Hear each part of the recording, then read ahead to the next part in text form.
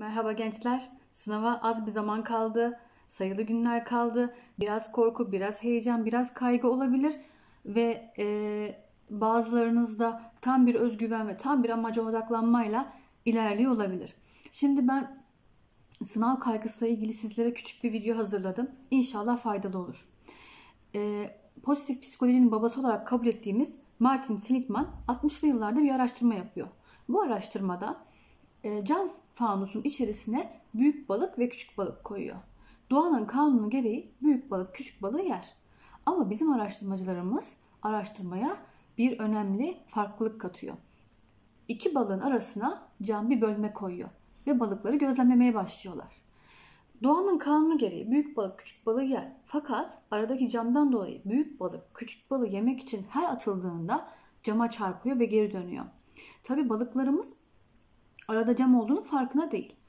Büyük balık yaklaşık 30-40 defa e, küçük balığı yemek için atılıyor. Ama her defasında cama çarpıyor ve geri dönüyor. Artık 30. 40. denemeden sonra şöyle düşünüyor. Ben istesem de küçük balığı yiyemem. Ve artık pes ediyor. Ee, balığı yemek için uğraşmıyor.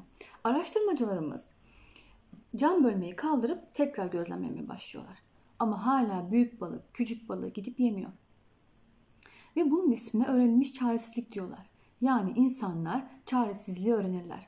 Çabalarının sonuca ulaşmaması durumunda sonucun değişmeyeceğine karşı inanca biz öğrenilmiş çaresizlik diyoruz. Ee, şimdi içlerinizden bazılarınız şöyle düşünüyor olabilir. Zaten sınava çok az bir zaman kaldı. Bundan sonra ne yapabilirim ki? Neyi değiştirebilirim ki? Çabalasam ne olacak ki? Zaten artık her şey bitti diye düşünüyor olabilirsiniz.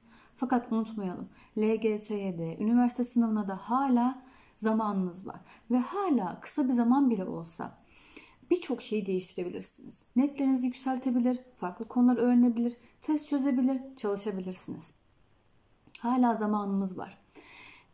Bir de bu Seligman amcamız diyor ki aslında insanlar iyimserliği de öğrenirler. Yani öğrenilmiş iyimserlik de bir kavram ve bunun içinde de şunlar bulunuyor çocuklar. E, başarmanın mutlaka bir yolu vardır. Başarısızlık geçici bir durumdur. Yani bunu değiştirebilirim. Sorunu çözmek için hamle üzerine hamle yapabilirim. Yani öğrenmiş iyimserliğe sahip insanların da bunlara sahip olduğunu söylüyorlar. Buradaki çabaya vurgu yapmak istiyorum. Çaba göstermek çok değerli. Üniversite 3. sınıftaydım. Çok kıymetli bir arkadaşım var. Belki bu, bu videoyu o da izleyebilir. Önemli bir dersimiz vardı. Ders içinde bir sürü not vardı.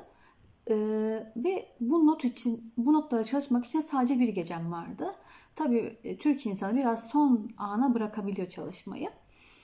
Neyse ben şöyle düşünmüştüm o, o günkü aklımla. Ee, ben zaten bir gece çalışsam ne olacak ki? Çalışsam da başaramam diye düşünmüştüm.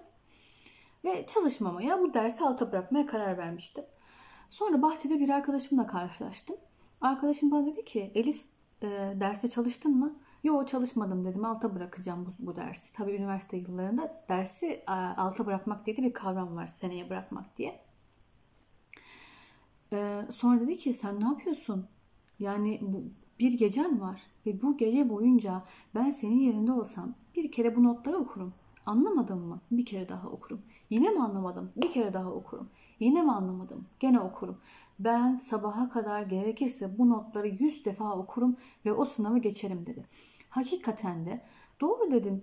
Bir deneyim, düşüneyim. Bir gecem var. Ne kaybedeceğim? Sadece bir gecelik uykumu kaybedebilirim. Sonra gece boyunca dersime çalıştım ve inanmazsınız ama ben o dersi geçtim. Yani bir sene daha aynı dersi tekrar alttan almaktan, o dersi takip etmekten, o dersin bütün sorumluluklarını yerine getirmektense bir gecemi verdim ve o derse çalıştım ve o dersi geçtim. Siz de bunu yapabilirsiniz. Evet, sınava sayılı günler kaldı, bunun farkındayım ama e, her gününüzü düzenli çalışarak, verimli çalışarak, yeterince uyuyarak, yeterince kendinize zaman ayırarak ve malum tatildeyiz, daha doğrusu uzaktan eğitim sürecindeyiz. Bu uzaktan eğitim sürecini sınavınıza, dersinize odaklanarak geçirebilirsiniz. Seligman'ın dediği gibi insanlar çaresizliği de öğrenebilir, iyimserliği de öğrenebilir. Ve siz hamle üzerine hamle yaptığınızda o aradaki görünmediği, görünmeyen engel kalktığında bir bakmışsınız ki başarıyı yakalamışsınız. Bir sonraki videoda görüşmek üzere. Hoşçakalın.